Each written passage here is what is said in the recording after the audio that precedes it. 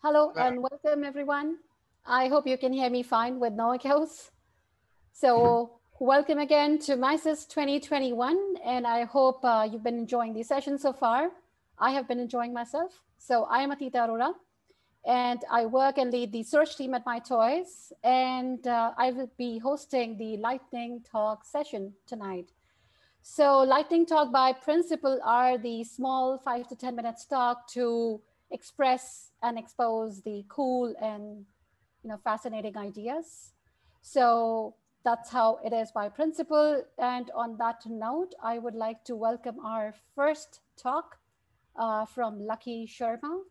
The, the stage is all yours, Lucky. Uh, yeah, hi everyone. Uh, let me share my screen as well. So basically, the idea of Aerion, I give a gist of this thing in uh, Buzzwords Barcamp. So the idea is more around. Uh, so I worked around Solr, but this is this could be search engine agnostic. So earlier to this, I presented the Search Solr Cloud uh, Manager, which basically creates or uh, manages your Solr Cloud independent of Solr. And this idea comes in my mind. Uh, like the Aerion, I named it because of some Greek mythology and, Aerion is basically to solve the problem certain which people generate when they are trying used to uh, use search engine or so. So one of the problem statement put here is that whenever they need any new schema change or whenever trying to basically uh, initialize a new Solr core or elastic core, they basically uh, put these mappings into search engine and then they be trying. So it, there is a and trial going on at that point of time where to tweak their tweak their um, analysis chain and to figure out that how generating rate need to update what are things they need to do before actually putting this thing into production. So this thing uh, is good for uh, so this is an idea for that part. Also it will help the newcomers where are new people and uh, if they wants to basically try to uh, add new thing and don't know about the analyzers present within that specific version of Solr or Elasticsearch. So this gives us the find out like what are the things present and how easily it can be propagated to from your uh, Solr from, from your area on to production clusters. So as I said, the uh, statement is that what I defined for the capabilities what are, uh, does basically it initiates a Solr core which configs across the clusters using Cloud Manager. It basically a single interface where you can basically update, try, and create new schema config. And this could be like then propagated to your search engines. And the other thing is it gives you the uh, gives all possible option analyzers. Like analyzer consists of multiple um, parameters which people are unaware of at times. But, So they have to go through documentation. Of doing that, just use Aerion UI and try to use it. Then you can also basically Like your internet connection is very weak. Could you maybe please turn off your video to save bandwidth? Sure, sure, sure, sure. Just give me a moment. Is it better now? It seems so, yeah. Hello. So, okay, so the, yeah, thing is the version of schema. So basically, which I've seen all that people used to score uh, these schema in GitHub or they just put them in files. But the idea behind any schema is basically that or engine we have so a of that uh, schema files and your like how your data will go. So that provides when versus page and see how and then Elastic has this analyze API where you can basically try on Postman and see how your tokens is going to work. So and uh, last last not the least, it basically makes you it makes it easy for everyone to create schema.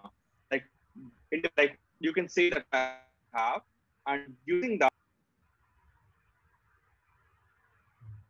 I'm afraid we lost Lucky, right? Oh, okay. So I guess um, on that note, I can request my next uh, uh, speaker. So um, we do have some good comments. I hope Lucky joins back and sees. Uh, and I am particularly pretty, um, you know, happy to see that how this has evolved. And so does uh, Eric also feel so because I think uh, it was last year that uh, he presented this idea at uh, Berlin Buzzword Lightning Talk. I was the one who was hosting it. So I'm pretty excited to see like how this has evolved.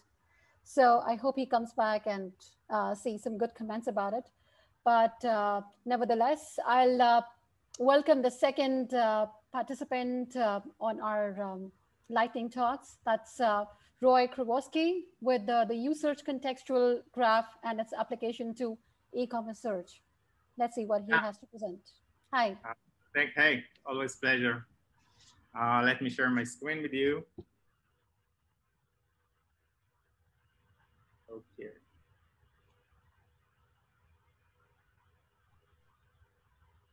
One second. Um,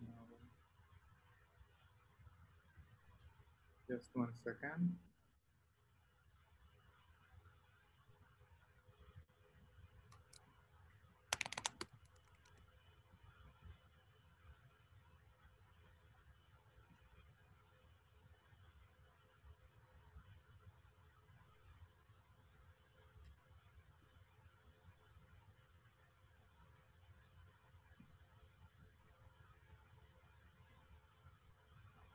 We did.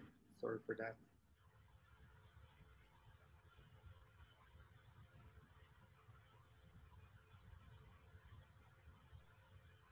So do you see my screen?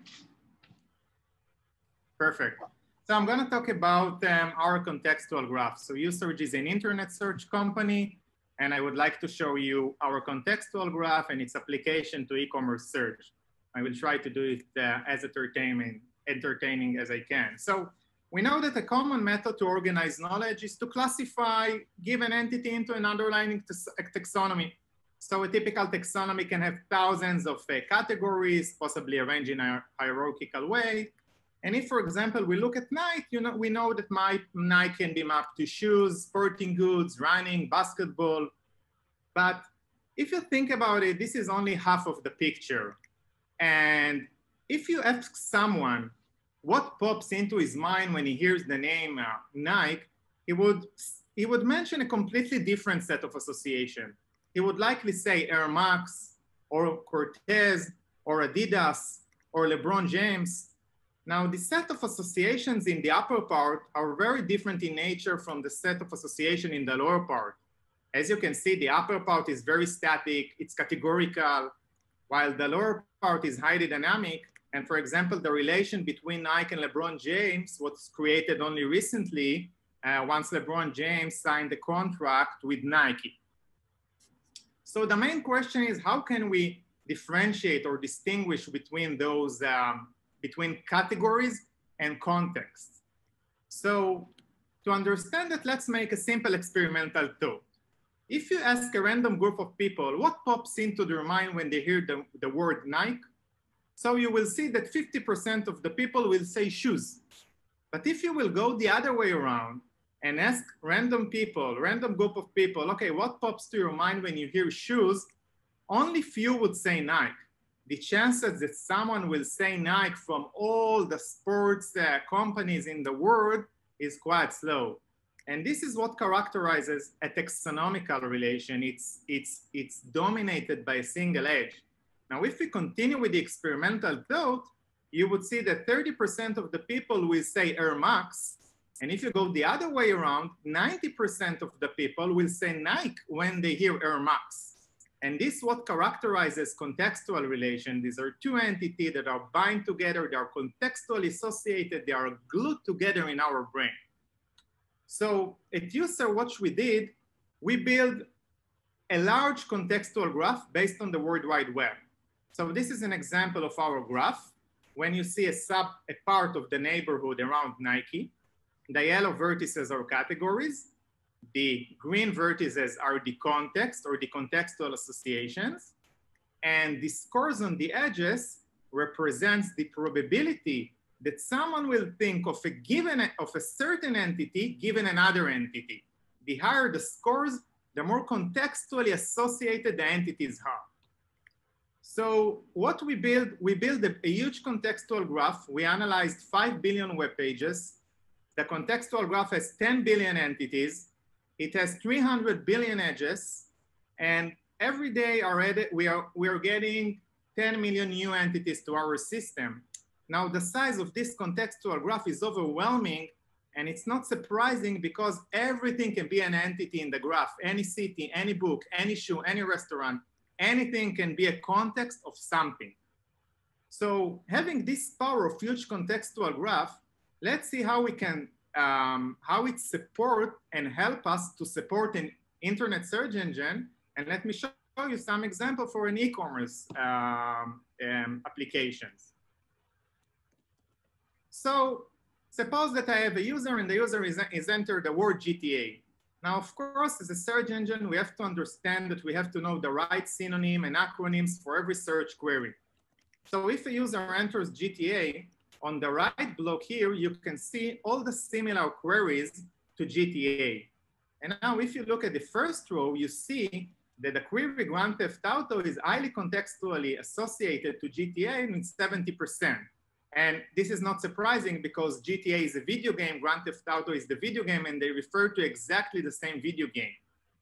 But this also means that if you mistakenly try to, to replace GTA with another acronym, say Greater Toronto Area, with almost 100% of probability, you will show irrelevant results to the user. Um, let's take another example. If a user enters the search engine Gone Wild, we know as humans that he means 100% to the movie Gone with the Wind.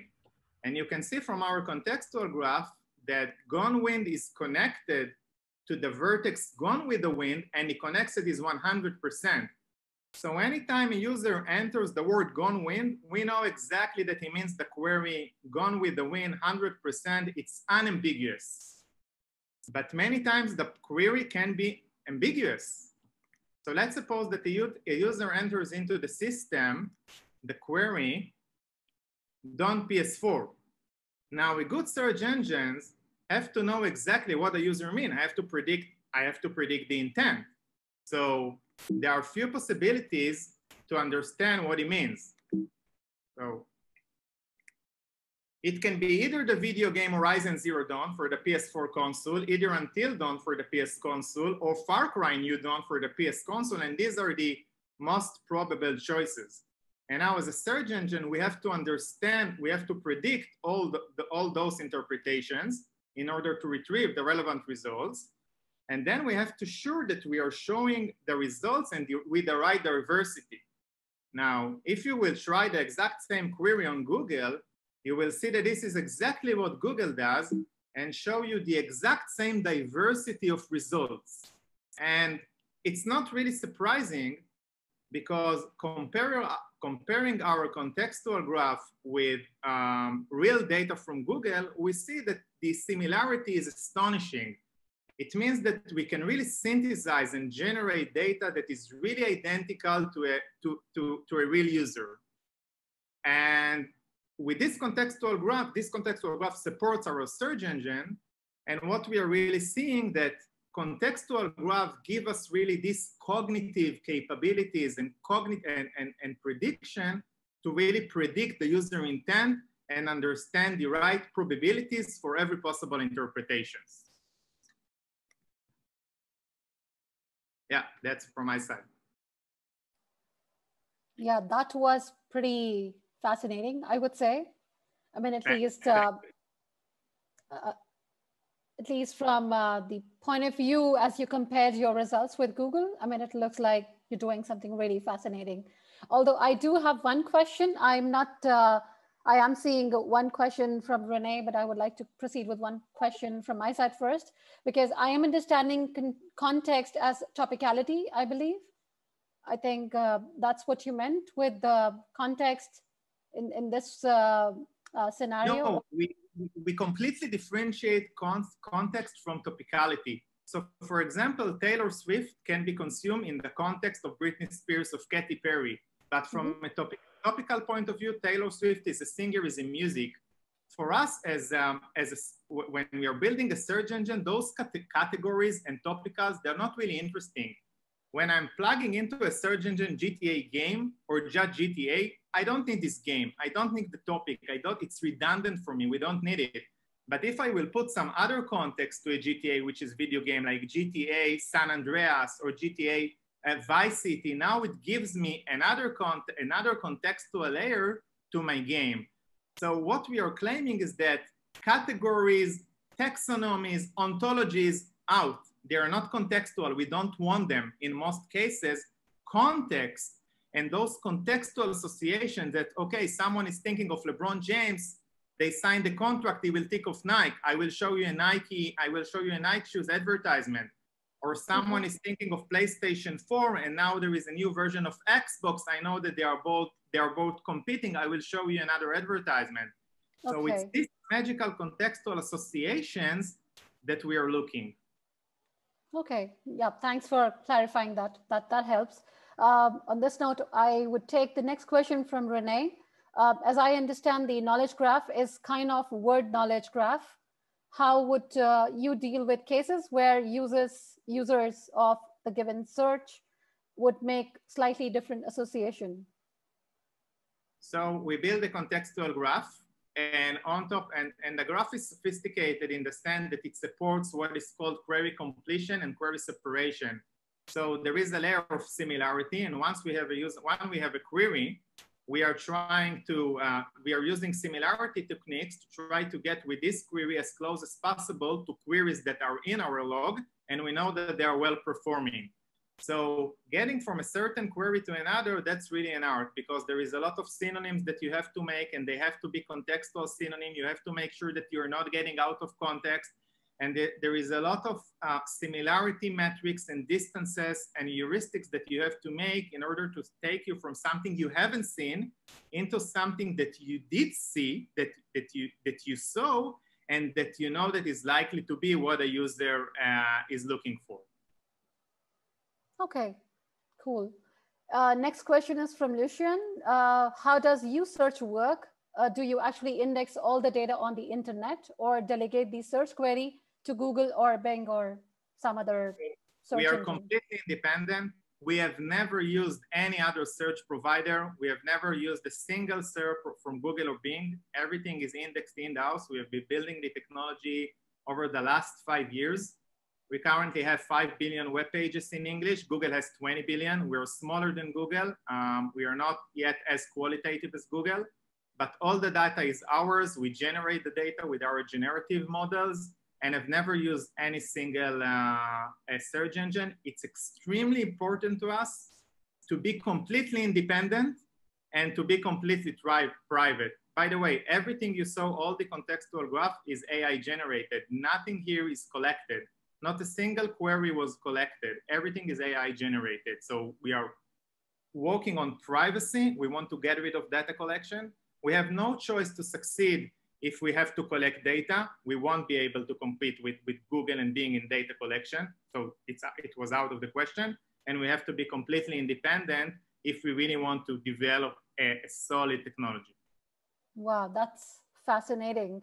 Uh, we have one more question from AC. Uh, how are the edges created? And are the edges weight equal to probability show in the augmented query slide? So um, the underlying algorithm is what is called associative memory networks. It's uh, elements that are taken from neuroscience that we are trying to predict what a user will encode seeing a web page, what a user, for example, might, might encode or recall from the association. So basically we are analyzing huge amount of billion of web pages, a lot of pattern recognition and statistical pattern recognition, trying to extract the right entity, the n-grams, and then the algorithm, and that's the art, is really to predict the score on the edges because the score on the edges is the most important stuff for us uh, that, and give us the confidence that we know where to take a given query. So if, if, if you want to read more about it, then you have to go to auto-associative memory networks. Sure. Thank you for answering that, Roy. Uh, please do leave uh, some uh, offline references in the chat if you can. That would yeah, really help. Yeah, thank you so much. Um, and I would say that we move on to our next speaker on this note. Uh, and we have the next speaker as uh, Xavier Sanchez, who will be speaking about Spanish stemmers for Solr. Hello, let me share my, my screen. Uh, sure. Okay. Well, I'm going, well, hello, my name is Xavier Sanchez Loro. I'm from Wallapop. I'm a search engineer there. And I'm making a little talk about the Spanish stemmers for Solr. Well, uh, sorry. Yeah, the idea is just to review all the available implementations in Solr right now and also present a new implementation that we have done that it's an stemmer just for Spanish plurals. Also, we show some differences of the different stemmers in action and finally some general guidelines on how to use them. Well, which are the current Solr implementations? Well, we have the Spanish stemmer, it's the classical snowball-based stemmer. This is a general purpose stemmer, so it stems plural, singular forms, masculine, feminines, verbal forms, and all kind of, of words. So it's quite uh, aggressive. Okay. It can increase a lot your recall, but the precision can be drastically reduced. So you will see lots of collisions between words. And in this case, it's something when you want to increase recall at the cost of, of precision. Okay, well, there is some minor things that it cannot stem, like words of foreign origin. This is something I will show afterwards. The next implementation is the Spanish light stemmer. In this case, it's an algorithmic approach. And this is designed just for uh, stemming singular forms and feminines, uh, masculines, to the same root. In this case, you will increase the, the recall, but the precision, depending on the use case or your information need, can be greatly reduced. Okay. Uh, in this case, uh, the, the usage is when you want uh, a distinction between, uh, when you don't want the distinction between singular and plural, and also when the gender is, is not relevant. In this case, it also has the same issue with the plural words from foreign, foreign origin. And also you will see some kind of collisions between words with different really, with a really different meaning. In this case, for example, caro y cara, which uh, caro could be expensive and cara could be expensive in the feminine, but could, could be also face. So you could have really different uh, results. Also things like barra, which is a bar, or barro, which is mood, they, they can show really different results just with the, with the same keyword. In our case, uh, we don't want stemming in plural, singulars, and also gender. So we just want uh, collapse singular and plurals and, and still distinguishing between masculine and feminine forms. So uh, we thought that we need a new stemmer only for plurals and in this case, I will show you our implementation, which is the Spanish plural stemmer. Uh, in this case, it's also an algorithmic approach. Well, here you have where we got the, the rules. It's designed only to stem plural and singular forms. So we distinguish between masculine and feminine forms. Uh, here it's, it's the same, it will increase the recall and depending on the use case, your precision can be, can be reduced. It's able to stem plural words of foreign origin, like banks, beats, robots, and things like that. It also provides support for invariant words. I mean, words where the plural and singular from it's the same or it doesn't make sense, like crisis, jueves, things like that. Uh, okay. And also we have some support for special cases. There are some cases that are not covered by the regular rules. And in this case, uh, the use case is when you want to distinguish between uh, with gender, but you don't want to distinguish between singular and plural. Uh, one of the nice things it, that is that it always produces meaningful tokens in, in, in singular form. So there is no strange stems that are not real words. And we are, uh, we are preparing it to be released to the Lucene and Solr community if we see that there is interest on it. So now I will show you how they how they behave in, in React with real examples. So for example, if you pick a word like access, which is a short plural word, in this case, the other stemmers, uh, they don't stem words that are less than five characters, so they miss some, some words. Uh, in this case also, things like sprice, which is a, a, a foreign word, uh, they, they are not able to, to stem it, so the, the, the token is not changed. But in, in our case, uh, we are able to change it to the real singular form. So we change the, the I for a Y. Also, we are able to, to stem things like comics, which is a foreign uh, origin plural. In this case, the singular is comics, so we are able to do it. And then uh, in cases like camisas, which is a plural, it's a feminine, and there is no masculine word. Uh, in this case, if you see the other stemmers produces tokens that are not real words, and we are producing camisa, which is the, the real singular. And then uh, other kind of plurals like paths. In this case, the Spanish stemmer uh, creates something that is uh, not a, a, a, human word. And in this case, uh, could uh, have lots of collisions with names like Paco and things like that. And in the Spanish latest stemmer and, and the plural stemmer are able to generate the correct, the correct uh, singular form, which is that you change this C by, by a set. And also, as I commented before, uh, things like bits, the other stemmers cannot stem it. In, in our case, uh, yes. And also in cases like, like verbs, the Spanish stemmer, the snowball one, uh, stems it. Uh, in the other cases, like it's a, it's a verb, uh, it's, they are smart enough to do not make the, the change. Other things that happen here is uh, uh, we have caro cara, which is the feminine and, and, and masculine words. This is, they are singulars. In the case of the Spanish stemmer and the light stemmer, they stem it. In our case, since we see it's a singular, we are, we are not changing it. Uh, other example would be an invariant, like abre botellas. In this case, you should not change the word because there is no plural, no singular, and there is no common root.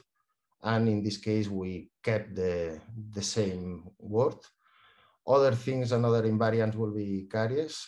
Uh, this is toothache and it's it's it's the same case and also with plurals forms in masculine and feminine as you see the other stemmers generate this short stem that is also non-human readable in our case we are generating the correct version and then another kind of invariant which is a name like uh, jueves which is thursday in this case we are not changing it and the other stemmers they are making the, the stem and also another case with uh, plurals that are shorter than five terms, and with the feminine and masculine, we are able to generate the, the correct the correct stemming, and the other stemmers are not able to, to change the, the root.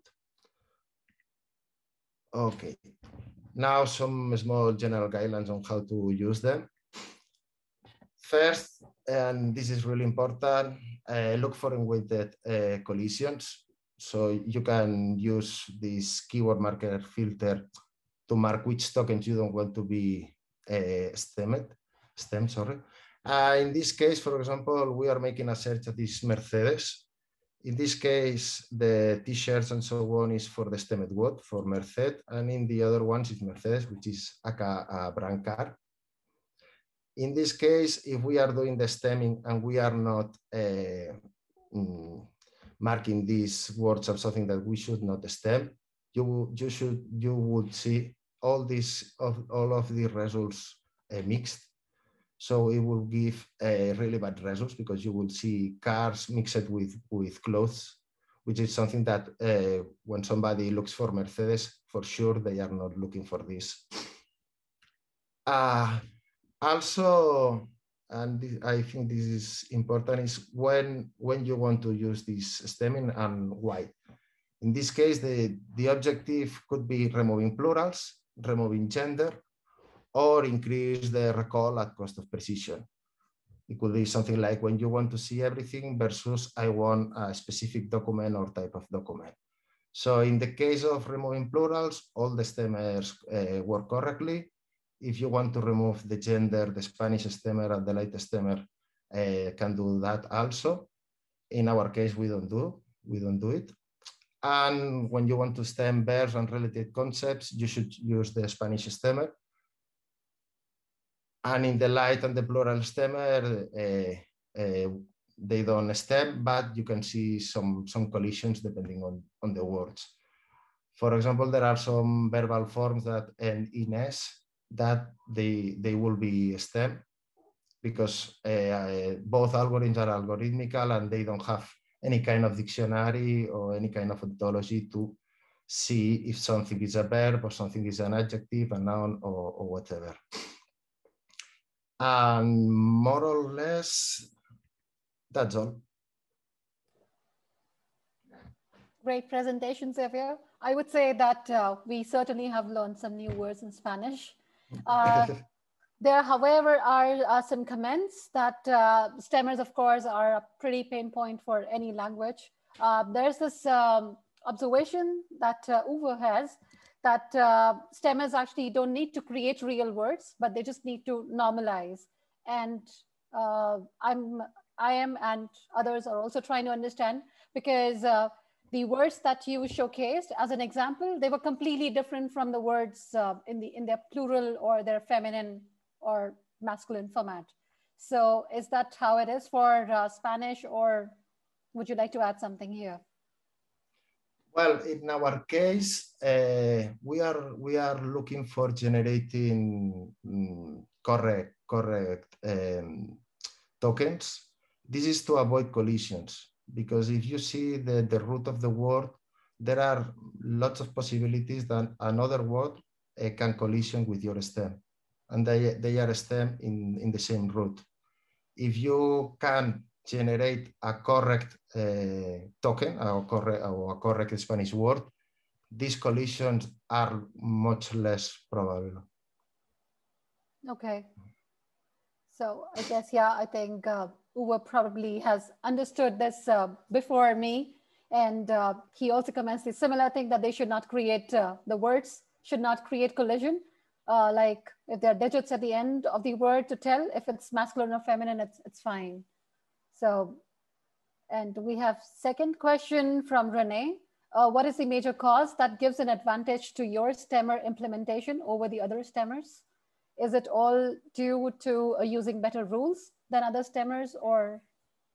Uh, there are, first is uh, we have a better rules. Our rules are more complete uh, the, in the case of the Spanish light stemmer, their algorithm is more simple and they don't look for all, for all the cases.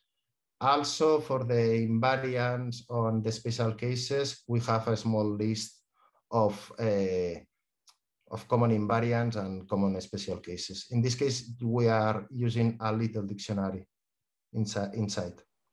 Okay, and I also heard during your presentation that you're also open to uh, work with community for uh, making the existing stemmer better in Solr. Is that correct? Yeah, well, I, our idea, and that's why we're doing the presentation, is uh, try to see if there is interest in releasing this for the community. Since we are using open source technologies and Solr and Lucene, and we have benefit from the community for a long time, we think it's uh, a good moment to to provide what we have and see if there is some interest on it. Sure. I hope someone would certainly reach out to you regarding that. And I think one more comment from uh, Uwe that uh, I assume it's a Lucene token filter. So it works also with Solr as well as with Elasticsearch and OpenSearch. Yeah, yeah, yeah, yeah, yeah, yeah, yeah, yeah. I, I put it Solr uh, just because we are we are always talking about Solr and make no distinct, distinction between uh, Solr and Lucene, but this is this is implemented at the Lucene level, so okay. it, it could be used in any search engine that is based on Lucene. Great, super awesome. So that was a great presentation, Xavier. Thank you so much. And You're uh, welcome. I move on to our next uh, speaker, uh, Eric Pugh, who would be talking about a quick Quepid conversation, how to talk about search quality in structured way with colleagues. Uh, by the way, everything with Q, and I'm pretty looking forward to how is it done. Thank you. Thank you very much. Um, yeah, so uh, I am happy to talk about uh, a project that I've been working on, Quepid, and I'm at the beach. And so this is my vacation edition. So there's the view. Uh, really glad to be here. Uh, and let me just start my timer. So, excellent. So, all right. So, uh, I search probably broken, right? Uh, and and this comic here is between my col- uh, colleague that I used to work.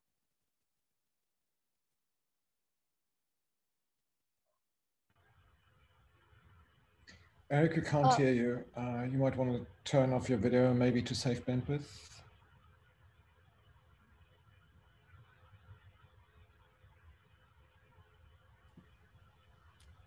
I think we we lost him. yeah, we lost him, it seems like. Okay, so maybe we move on to the next talk and maybe come back to Eric later. Sure. I suggest. Sure. Okay. So that was again another technological glitch. So I move on to our next speaker, um, Hamish Ogilvy. I hope I say it right. And he would speak about highly efficient dense retrieval using neural hashes. Neural hashes. Yep. One second. Okay, uh, yeah, so this talk is, it's a quick one, but just about uh, neural hashes, which is a new way of uh, doing search, kind of similar to vectors, but a little bit different.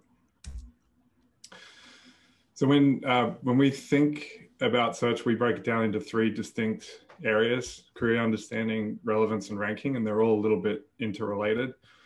Um, but really the part that I'm talking about today is a little bit query understanding, but mostly in the, the relevance side of things. So trying to filter the results to find the, the best matches. In terms of what AI relevance is, you guys are all probably familiar with this, but it's basically just representing words and sometimes images mathematically. Um, the advantage there, when you think about keywords, keywords are quite binary. So in search, you either match or you don't. Um, so you have to use things like rules and synonyms and things like that to actually uh, get keywords and text to match uh, to produce good results. Uh, AI-based relevance instead looks at similarity. So close concepts are represented closely. And the nice thing with that is that because they're not binary, you can add, subtract them, and you can also learn. So the note at the bottom is that you can um, take data such as purchases and then feed that back in and improve relevance uh, over time. So what like what like what are hashes and why? I think the way that we think about this is that we've moved from a keyword world. A lot of the technology, even on the left, is starting to move more into a vector world. Uh, so even you know Lucene and the uh, Elastic and Solr are adding things like approximate nearest neighbors into the index structures themselves. So they're moving into the, the vector world. The way we kind of see it is that that will then move into a world where you use hashes instead of vectors. So we think that it'll probably move to hashes before vectors really make it mainstream. And I'll show you why in a second. The reason for this is uh, there's a few reasons. Um, storage size is one of the obvious ones.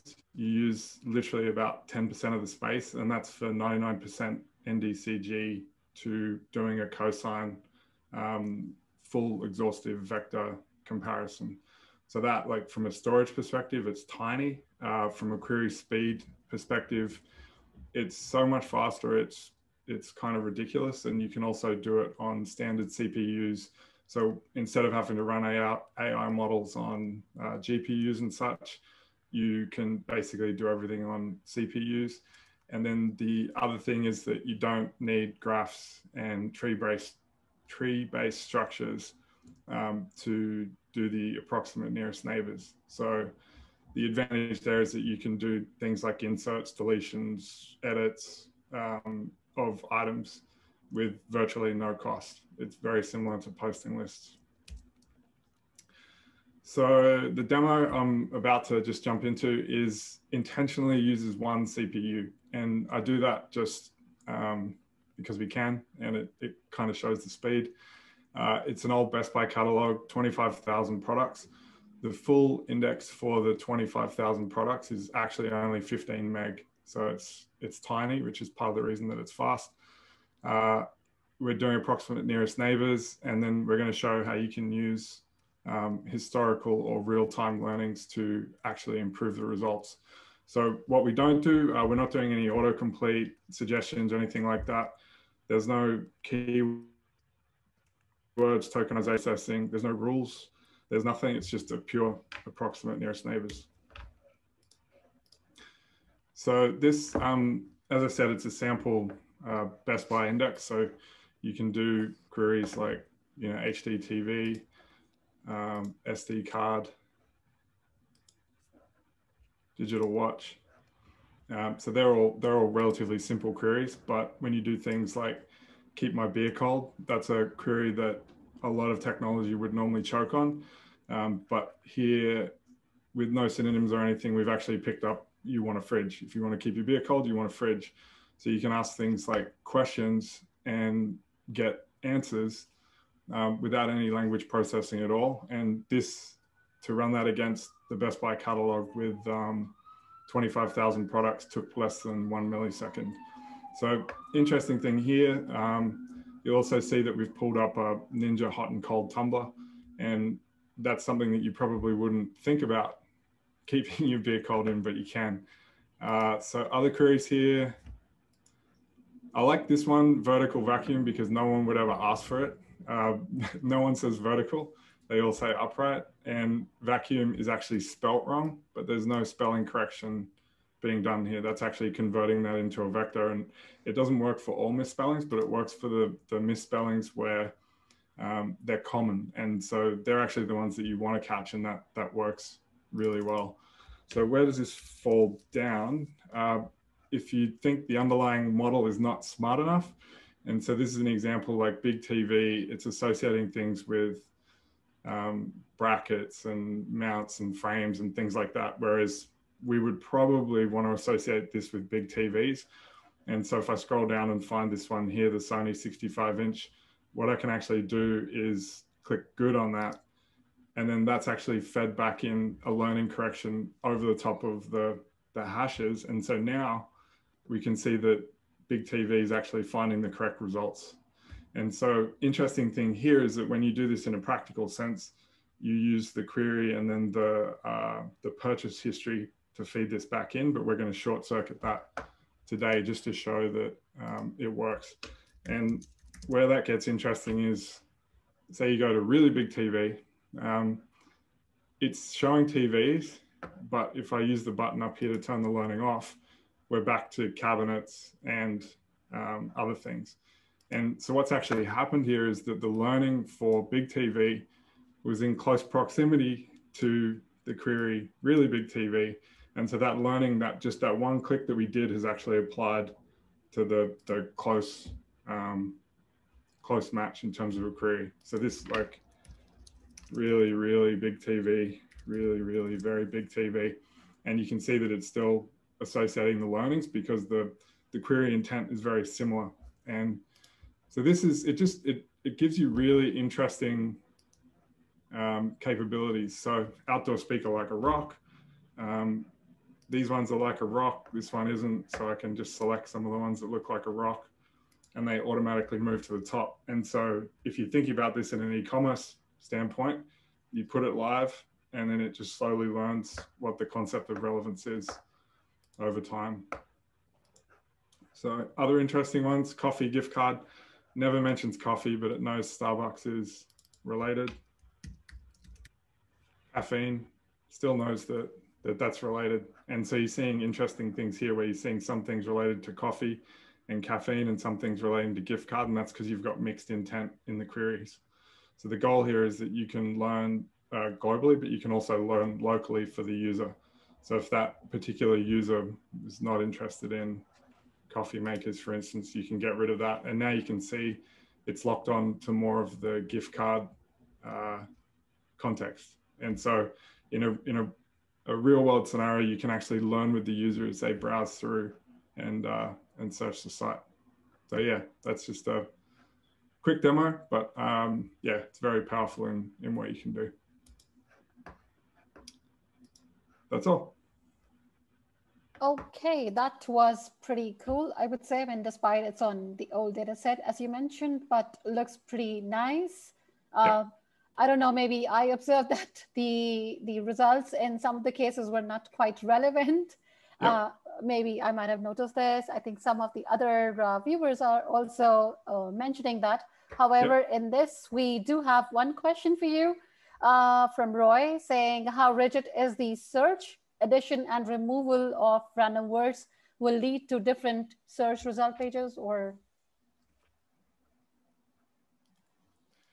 Yeah, so it's it's pretty insensitive to things like that because it's really looking at it's turning the the query into a vector. So the order of the words is important, and if you do have junk in there, it does take it into account. But quite often you find that it doesn't have a massive impact. Mm-hmm. It's pretty it's pretty insensitive. Yeah.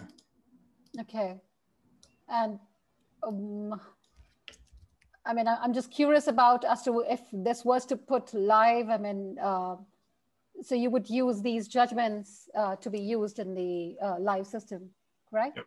Yep. Okay. Cool. You I can, and, and so this this is just at the moment it's using the raw um, AI model stuff underneath, so there's no learning applied on top of that. Mm-hmm. And so because this is using it, it's built on top of the um, Google's Universal Sentence Encoder, one of one of those models, and so it converts the vectors into hashes, and then the entire index is done in hashes. And so that universal sentence encoder was trained on Wikipedia or uh, things like that. So when you look at things like e-commerce search, if you don't use learnings, then you're starting with something that's not going to be quite relevant for e-commerce search. But the advantage is that it's multilingual. Uh, that, that works in about 16 languages. It's very fast, and wow. when when you start to add the learning on top of that, you can move the um, the proximity of the relevance to the to the correct mm-hmm. locations relatively easily. Yeah. Yeah. Pretty interesting. We have one more question for you. Meanwhile, that uh, from Uwe, that how are the hashes searched? Yeah, um, it's a good question. Could probably do a full talk on that. There's this demo just shows here. There's um, there's five uh, of the top activated neurons there. So basically, you you look when you're creating the, the hashes, you create the hashes with a neural network, and you also record the neurons at the last phase in the um, network that were most activated. And when you do that, you can basically create a posting list off the, the final neurons, essentially. And so in this case, I'm searching on the most top five activated neurons, and then I'm reading the, the hashes and doing a comparison against the query. So it's kind of a, a two-phase thing. But if you do a different, um, like drip, for instance, you'll see that these would have changed. Got it. Yeah. Okay. Yeah. So I guess that must have answered the questions, and that was a pretty interesting talk. Thank you so much, Hamish. Uh, we would like to no, make we, we would like to make Eric come back uh, with a better internet connection this time.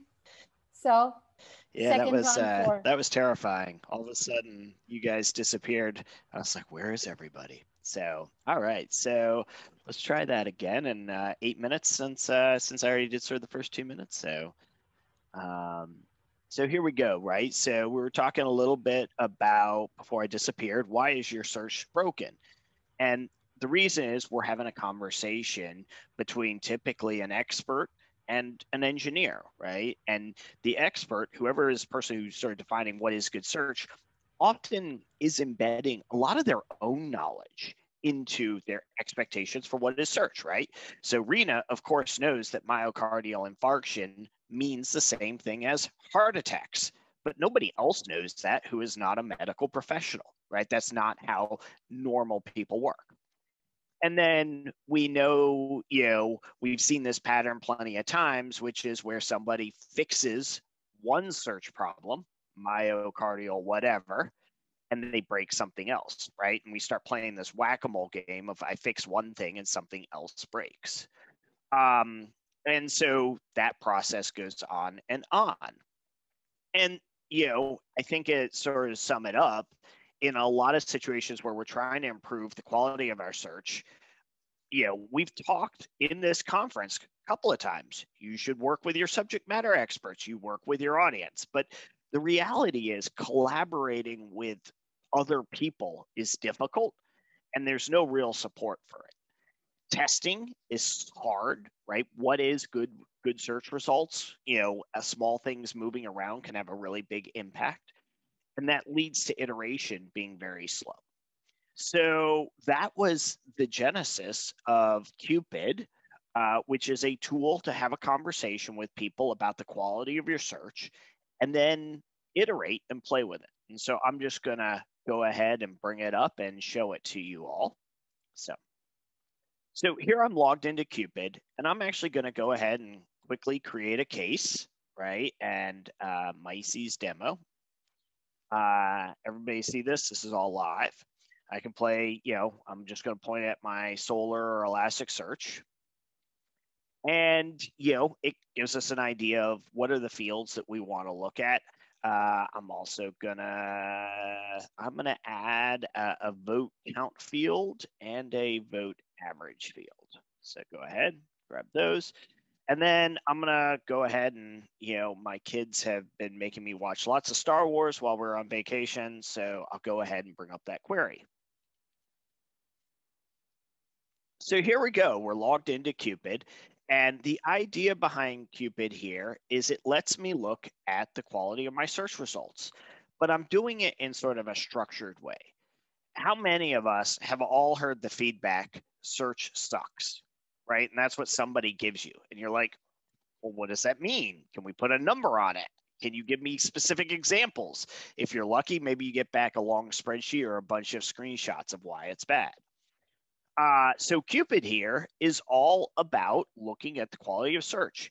And in a perfect world, right, I would be sitting with a subject matter expert and saying, well, are these good documents or not? So I have simple Star Wars if I'm looking for a movie to watch, uh, am I interested in interviews with the cast of all the Star Wars films and inside info? I mean, as a software developer, I'd be like, well, it matches. I got a link. It's working. But we know that that's not a good result. What about the story of the Star Wars toys? Is that what people are looking for? No. What about even a fan fiction remake? No. And all of a sudden, we start realizing, you know, we have 2,477 results that are currently matching. And so right here, I can quickly go through and start saying, are these good search results or not? Here's one, The Clone Wars. That was actually a pretty good TV show. So I'm going to go ahead and give it a one. Now, again, I might be sitting with someone and want to have a discussion about why is the Clone Wars a good result, whereas these other documentaries etc., are bad results. But what this does is lets me have a real conversation about, wow, yes, these search results are terrible. And then, you know, what I love about using a tool like Quepid is I can go ahead and I can sit right there with my subject matter experts and say, well, is there anything we can do? What can we do to improve it? Like, well, that's interesting. Some of these have pretty low vote counts. Let me go ahead and boost on, like, maybe let me get more votes. Def equals e dismax. And I'm gonna boost function equals vote count. And let's see if this is better search results. Move the zoom window around, rerun my searches. Hey, look at that. The Force Awakens, is that a good movie result? I'd say so, right? Everybody's like, ah, there it is, right? There is the movie that we all remember. There we go. The Truman Show. Why is that showing up? You know, definitely a stinker in there. But you can see, just based on heavily biasing on vote count, I could show that. Now, maybe I'm sitting with my subject matter expert and they're asking me, why am I getting back? Why did the Truman show up? Truman show show up? Well, you know, Quepid lets me start showing like some of the math, but without getting such in the weeds that someone's terrified. You can see that in this algorithm, I am heavily biased towards the vote count. That's, you know, directly affecting. And so anything that matches is going to be summed up by the vote count. So, um, yeah, so this is kind of Quepid in a nutshell. Uh, we can do some other things like we can toggle some notes. You know, what you know, I'll often put what my information need is. I am looking for one of the major block major motion pictures or the new TV shows like Mandalorian, right? Could write that right there. I could save that and then I can share that with the next person. I could take one of these and I can share it with a bunch of teams, right? And so there's a whole bunch of teams I have there. So I can go ahead and share it with my other colleagues. There we go. And now they get access to the same URL and they can rate documents. They can look at them. They can say, well, why, you know, what were you looking for in Star Wars? Oh, this is what was going on. So yeah, so that's Quepid in a real quick nutshell. Um, so, uh, brief history of Quepid. It's been around since 2013. So, we've been using it for a really long time we used it before we even knew what NDCG and average precision were as metrics. We had our own homegrown metrics that were pretty awful. Um, lots of people are using it, and uh, we're releasing lots uh, constantly. And then lastly, if you're wondering why is it called Quepid, it's because it's to show your queries some love. Thank you. Super interesting. I think last one was my question. You already stole my question because I was I was pretty pretty um, inquisitive as to why everything starts with Q and why um, such a name, Quepid. Yeah, yeah. It's because we need a way to show our queries some love, make them better. Cool. And we have one more question from David Harris. Uh, how does Quepid handle conflicting judgments from multiple reviewers? Ah, that is a wonderful question. And the answer is today, it does not. However, uh, today, uh, when I rate these documents, this is a shared space. However, if you watch the uh, London Information Retrieval Meetup yesterday, I showed that uh, we actually have a branch out right now, uh, which is all about multiple raters. Um, it's inspired by the uh, Discernatron project from the Wikimedia Foundation. And I don't think I have any good screenshots in here, but we're actually starting to support multiple raters and we're calculating um, some little bubbles uh, that tell you um, how accurate, how, how aligned your users are. So um, let's see. Uh, uh, if I get lucky, 263.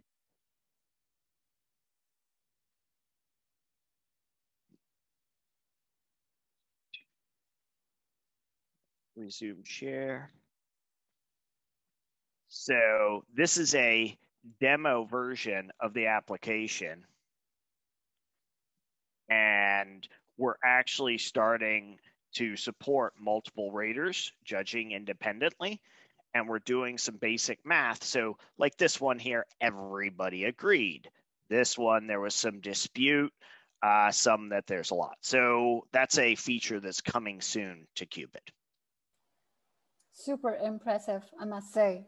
That was really great, especially, I mean, the changes from uh, where I attended the last workshop, it, it certainly looks pretty advanced from there. We're getting there. We're getting there. So thank sure. you. Wishing you all the luck. Okay, so I guess that was the last question, but at this point in time, thank you so much uh, for your presentation, Eric, once again, and from uh, everyone as well.